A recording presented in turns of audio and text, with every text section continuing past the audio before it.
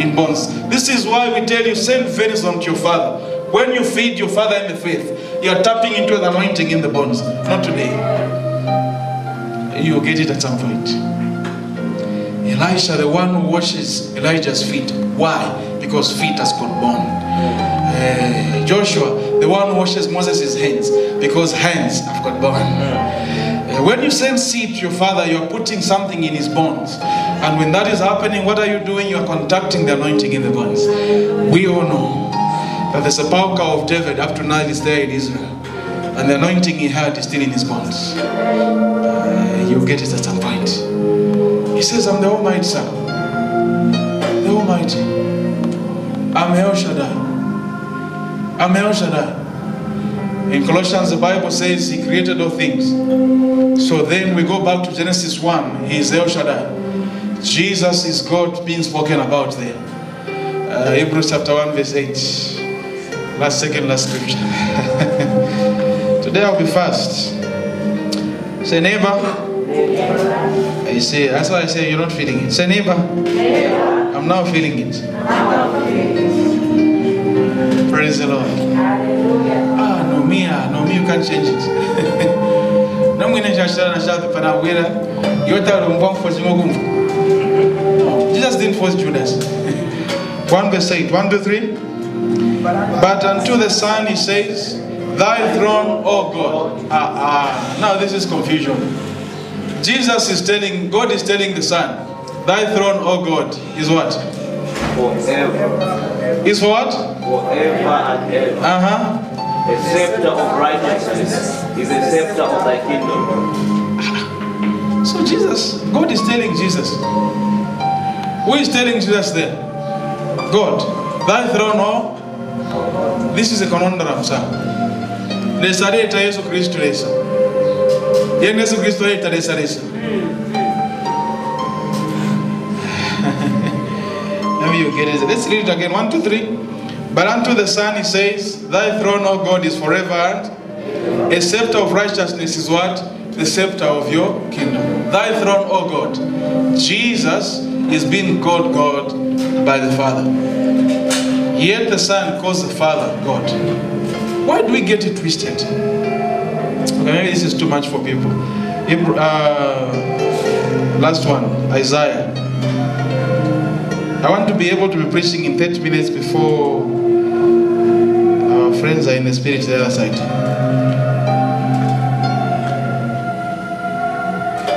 Praise the Lord. Isaiah chapter 9, verse 6. Ah, Alex, this one will not go very today. this is the last scripture. I'm going to start twice. Verse 6. 1, 2, 3.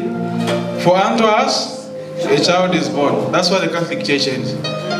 Unto us a son is given. That's why most Pentecostal churches are ending. Let's proceed from there. Yes? And the government shall be upon his The kingdom is upon his shoulders. So why are Christians still poor when the kingdom of Christ is on his shoulder? It is your lack of understanding that has placed poverty on the shoulders of Christ. Let's proceed. And his name shall be called Wonderful. So now Isaiah is revealing. Isaiah is not giving us just a character. Isaiah is giving us a revelation of his name. His name shall be called what? Wonderful. Ask your neighbor's life. Is your life wonderful? Ask Is them. your life wonderful? Lack of revelation. Especially a cancer. Poverty. Lack of revelation. it's not wonderful.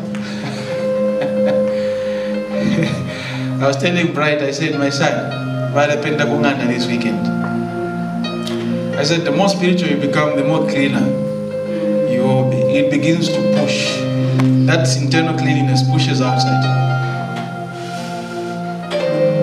I've said, you see this grass is green, it will be greener than this. the worker knows that. These towels will be cleaner outside, these pavings.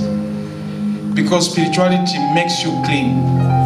And then it begins to rub onto your soul rub on your flesh. So that's wonderfulness of holiness. Don't, don't be deceived.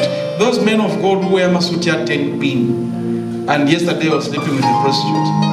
in the kingdom of darkness mulamange nkumba that's why i've refused to be justified by what i wear Never. come to where i stay see my spirit because the spirit is a residence i'm telling you the truth i will I wear reasonably but dressing should not be my justification of anointing no. From the circles, I had friends who started with a certain church. There were also embassy, emboy as well. When we were starting at campus. I found one of them, my hotel pastor. He's a pastor, he's a friend of mine. Twadekala in a room next next room by University of. The man has bought suits maybe in the time he has been in that ministry, maybe eight years. Um, maybe every year, I must uh, five pin times 12. Huh? That's 60,000 times 7. He has no plot.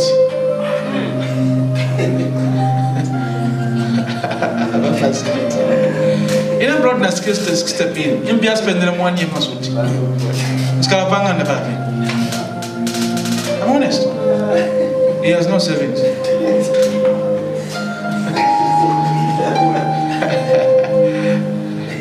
if the suit you buy is enough deposit to buy land and you bought a suit, you don't need prayer. You need medicine. I know you don't like it. No, we are a posh church. We are a town church. No, we are not. We are just a church of Christ. Let's come to your home. Let your house be a town house. Like So the church, pano, pano, we're not stretching. We're not at intercontinental here. I have sons, Pastor Abangari, at month end one that were paid Then I realized, Chair, and your team. I said, Never Masuti. I want to go to a million dollars for Masuti. It's not, it's not that enough. Next, I think I'm buying suits with the money they're giving me.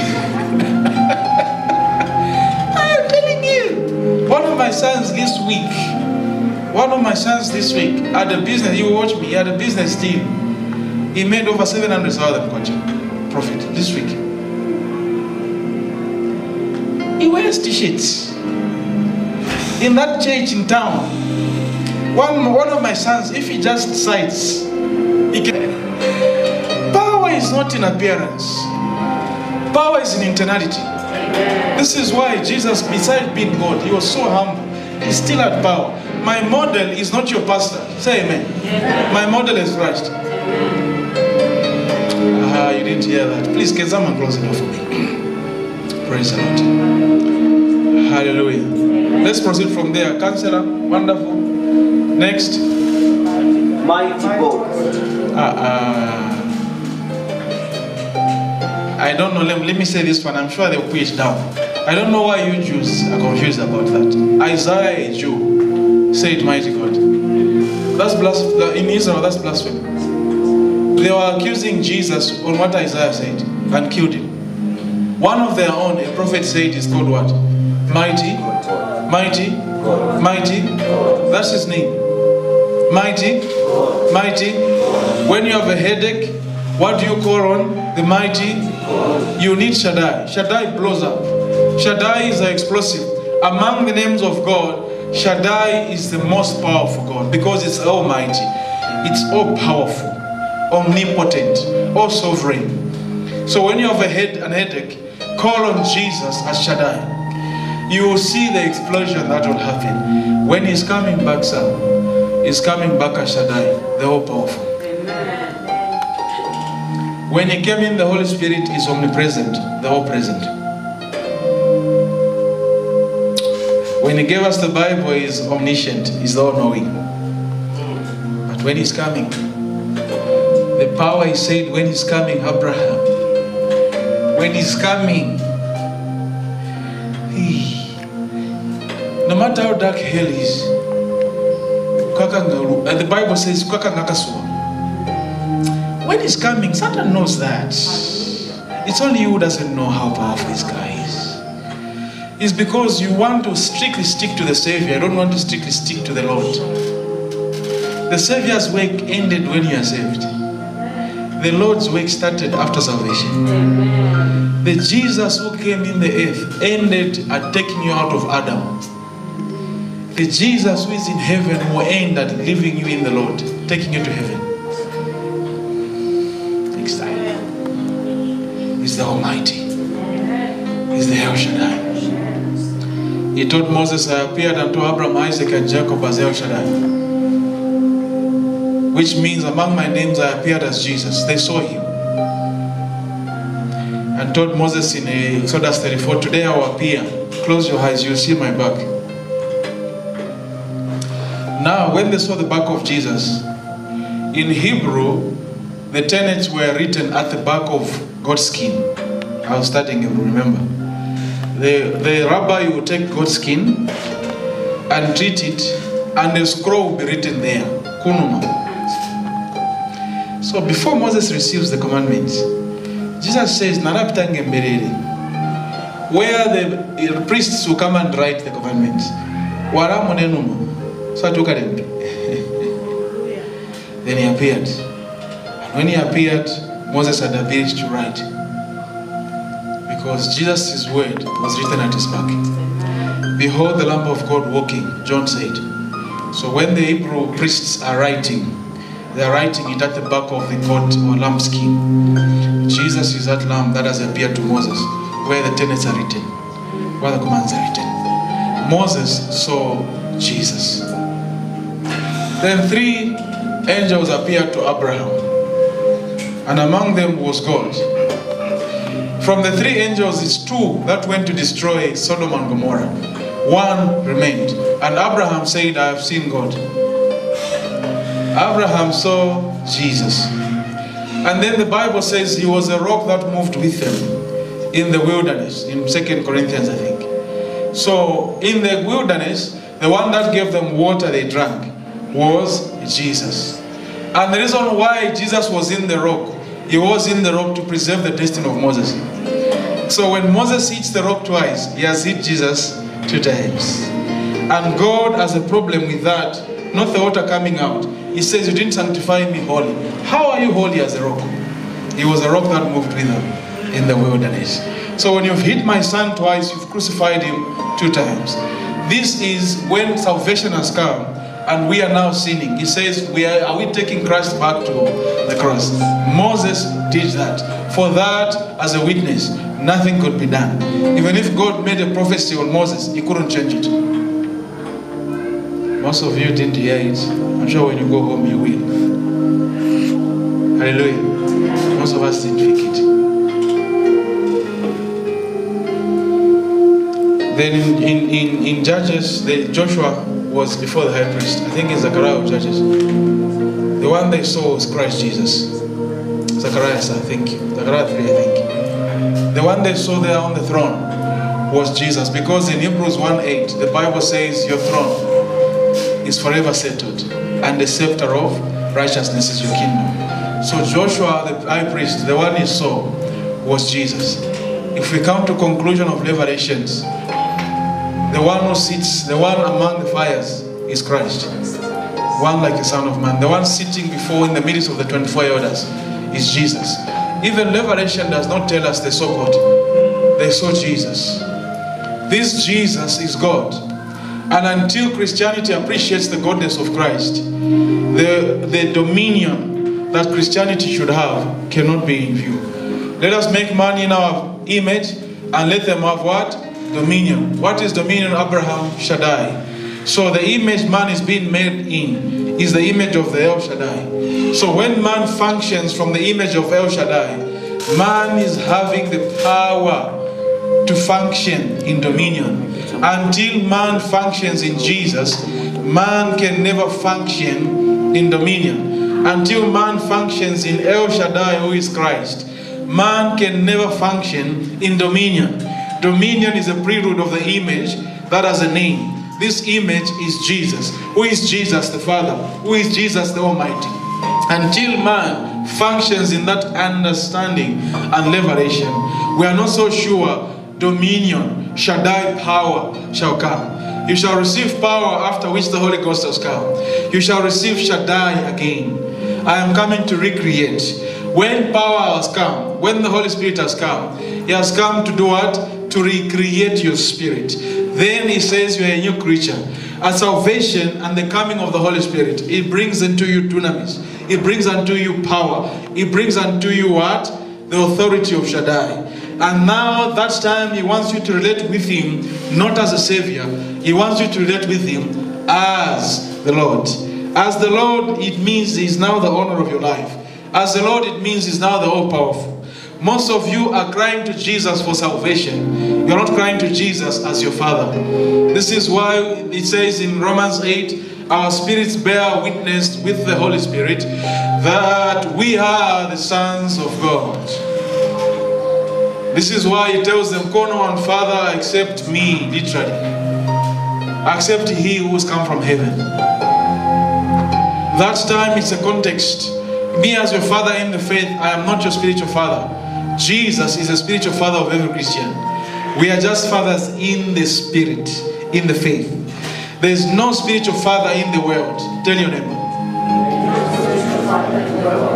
No, because you called one last spiritual father. Tell them properly. Say, say, sir and ma, there's no spiritual father on the earth. Because in Revelation, in Genesis 6, I'm the God of all flesh. So which means even the flesh, I fathered it. Then he says, man is also flesh. You will not strive with my spirit. So which means the source of every man's spirit is the Father. So it means God is now the spiritual father. As we are just fathers in the faith, He is the spiritual father of your spirit. As we are watchers of your soul, we are fathers in the faith because we train your soul. We don't train your spirit. What I am saying here, I am imparting your soul. The one who takes over training from what I have said is the spirit inside you. Who is the spiritual father? No, tell them. Because the transmitting systems are spiritual fathers. You know, my daughter just sleep with me. I will transfer power. My spirit is in my seed. The end has come. No, the end has come. And the moment PJ chair, I tell you I'm your spiritual father. Do you know my essence is to control your spirit? And if man's spirit can be dominated, man can be controlled. No man is supposed to control another man. This is why in Nigeria the church has taken out an occult form. They believe what the man of God says more than what God says. Why? Because he's their spiritual father. So they have replaced God with their man God. So what he says to their spirit, and man is his spirit, he controls them. And man was not designed to control another man's spirit. This is why the Bible tells us in 1 Corinthians 6 17, we are one spirit with him. If in there and the one who is teaching you all things is the spirit within. Now I'm informing your soul. I'm fathering your soul. The one who is fathering your spirit is the one who is speaking from what I'm saying and informing your spirit. That's why none of you are hearing what I'm saying in the same way. All of us are picking it differently because the Holy Spirit teaches you according to your needs. There are no spiritual fathers in the world. There are only fathers in the faith. Cultism is built when men become spiritual fathers to men's spirits. I don't train your spirits. I know some of you have watched a message from Nigeria educating your spirit. No man can educate the spirit. He said, He shall teach you all things.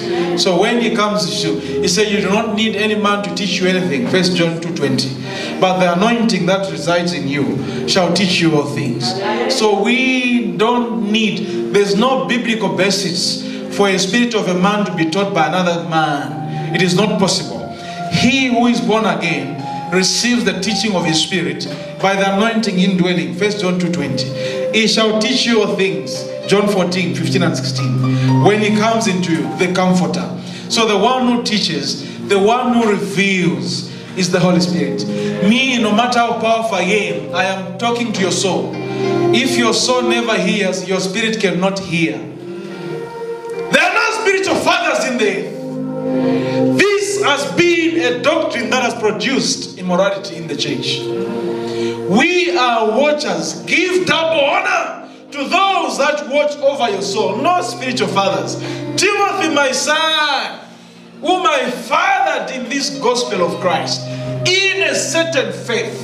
I did not father your spirit, Timothy. I met you as a mature person. How did I father your spirit up to this level?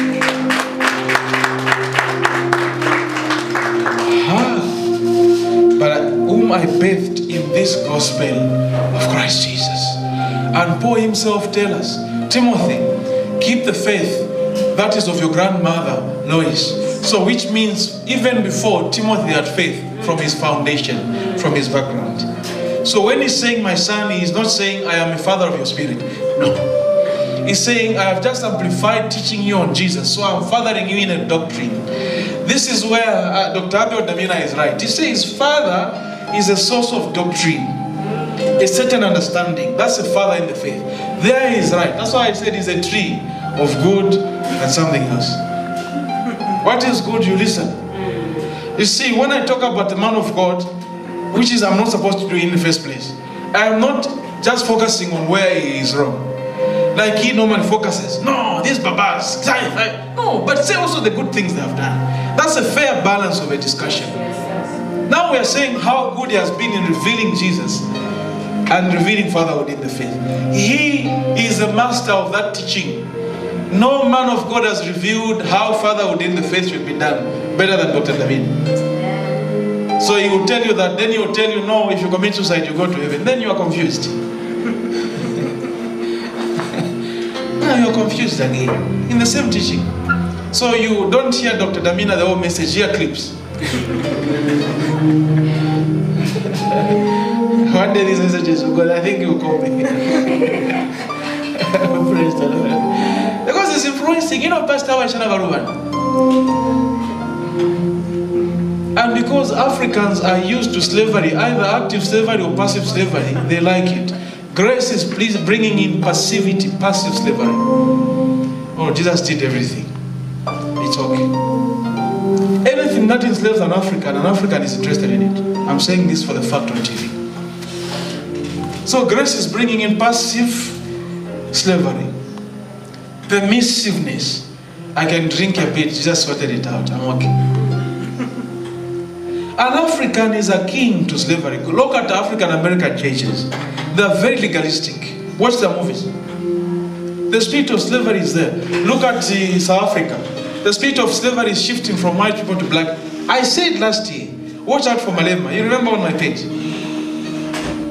I put two prophecies, that, and then in October I also said Tinubu. I said people are saying Peter will be, but let them watch out of Tinubu. One of the people asked me, Pastor, so you mean Tinubu will win? I said, I don't know. Then I came to church and I clarified it. The country of South Africa is shifting towards Malema, whether you like it or yes. I said it last year. It's a spirit, and I said Shaka has reincarnated. I also now talked about Charles. I said Satan is now born again. I just put Charles and I said Satan is now born. Are we together here? Christians, Africans. If CR1 was here, we don't have space here. We love servitude. We love slavery. The reason why I could stop working for Christ is because Jesus is the only personality that frees all and unites all in all things. There's no doctrine on segregation and Black Lives Matter and white, nothing. Kanye West says white lives matter. They say anti-Semitism. You call that? So unless black lives, when it says black lives matter, then it's okay. When we say white lives matter, it's anti-Semitism. And you take, uh, uh, we take his Adidas, yes, yes, that. Why would you do that? And then as prophets and teachers, Chair, you asked me a question, Benjamin, one. He says, man of God, why, what is, what is the solution to Christianity? I said, when prophets arise and tell people the truth, like it was in the olden days, that is where freedom will come whether they are given money or not given money, but they speak out. This is why I don't want to have a lifestyle so built by your givings, because you deny me the truth. I need to content my life. I come here and I say what God has to say. In a church where there are so many rich men, the messages shift. I start preaching 10, 10, 10 steps to wealth. My sons here who are attached Christ have more money than the ones who are attending seminars on 10 steps of One of them, now I'm sending a BMW, you know, said, die. Eh, yeah, you know, you know the story. They sent it yesterday. Did we teach 10 steps? No. Just, man of God, the way you're teaching us, Jesus, this is some of the evidence. So the truth is in the person of Christ. When a man of God is so focused on teaching prosperity, is greedy. He wants money. Prosperity is an overflow. Pastor Chan, if Moaba, you're an organizer, you are a, so for example, Pastor Chanda is a man, then he's a husband, then he's a father, then he's an employee. Prosperity is like an employee, it's very temporal. But being a man is permanent. so why don't we go to Jesus the man? We focus on what he does only. The children of Israel believed in the heart and they were deceived. But Moses knew the ways. Let me close off. Who is Jesus? The Father. Who is the Father? The Almighty. Jesus is El Shaddai. This week I am asking, even as we pray, when you go home, uh, even today, today we'll pray. I want you to trust the El Shaddai-ness of Jesus. If you have any issue, for me it's allergies, my kids. That's my focus today. Allergies have to go away. My kids are never sick normally, but small allergies. At school they ate candy, they ate frost. He's got these things on the throat. We are going to place Shaddai, dunamis power, on a matter. And that matter, let me tell you, I heard something from a very key mentor of mine. He says the reason why Christians don't receive in their prayer life is that when they are praying, they don't crown God holy. Holiness in the place of prayer is one-mindedness. So you're saying, Father, this poverty, your mind is traveling. Your, your mind, the travel of your mind is not just your soul. God's spirit will not perform until your soul in imagination has participated. Nothing will work. Moses had to see the Red Sea parted before it could be parted. It can't be parted. Your soul has to participate. And your soul is your imagination. There's a mind there. So your poverty as you are praying, look at how you're coming out. How you look at how you're coming out. The Bible says as they imagined in Genesis 11, nothing could be stopped what they imagined. The power of the soul is imagination. And imagination places an agreement with the anointing of God. When I come here to heal people, I expect what I'm praying for to happen. And my soul in imagination travels, then the spirit meets it up and then it happens. No, you didn't get me, you'll get me at some point. Next time.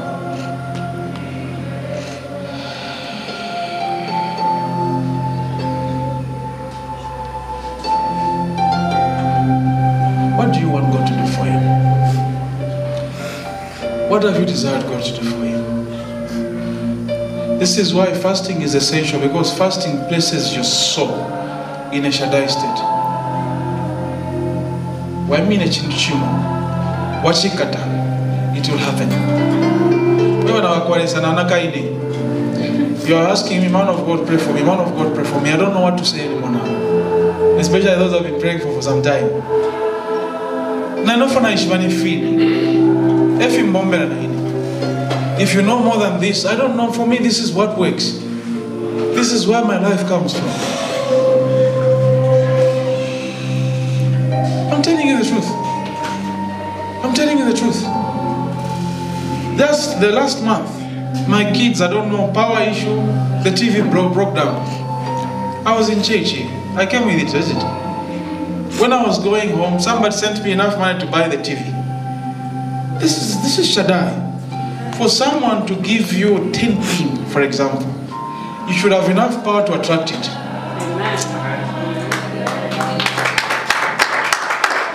Because the hardest thing for man to do is to give money. I bought the TV. I said, okay. I want to paint the house. Somebody calls me and says, "Why don't you know Andy?" Somebody calls my, my father. God has been speaking to me to send me this amount. The exact amount of money I needed to pay the house in and out. So my wife came back. There's a statement you made. Should I say it? No. okay, okay, out of joy, she has permitted. She says, Mr. Muzumara, have you robbed a bank?